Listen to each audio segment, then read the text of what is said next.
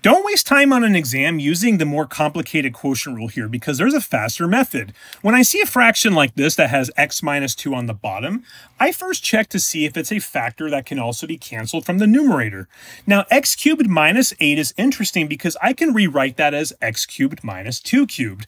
And a difference of 2 cubes, as we know, will factor really nicely because here when you factor it to x minus 2 times x squared plus 2x plus 4, voila! X minus 2 can be knocked out of the top and the bottom, right? Well, there is a catch. You'll have to stick around until the end of the video and comment below if you actually see it. But I'm going to go ahead and cancel them now because now instead of using the quotient rule, there's no fraction, right? We'll just use the product rule where you take the derivative of this left expression times the right plus the derivative now of the right times the left.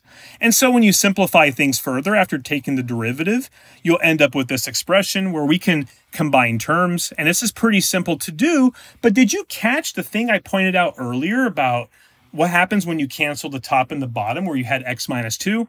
There is a domain restriction. In the original function, you had discontinuity at x equals 2 because you can't divide by 0, which means that for our final answer here,